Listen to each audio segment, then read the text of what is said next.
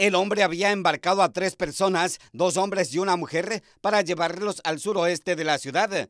Pero al pasar por el sector de las calles Francisco Segura y la 16, los supuestos pasajeros sacaron armas de fuego y procedieron a asaltar al conductor, quien puso resistencia al robo de sus pertenencias, por lo que le propinaron varios disparos. Tiene que haber puesto resistencia porque si no, como, como por no le, van, no le van a pegar el balazo. Pues.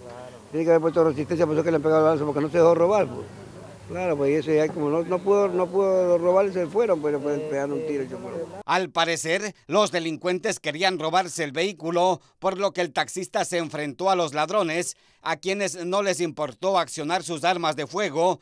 Luego salieron corriendo y huyeron con cómplices que los esperaban aparentemente en otro carro. Cuento que aquí en este barrio es la tercera muerte, aquí mataron, aquí mataron ya algunos, aquí en este barrio mataron y hubo un muerto aquí. Aquí en la esquina de 16, primer cañón seguro, ya mataron a un, a un muchacho. Varias unidades policiales llegaron al sitio del asalto con violencia para recoger evidencias que permitan identificar a los delincuentes, mientras el taxista permanece hospitalizado en condición crítica.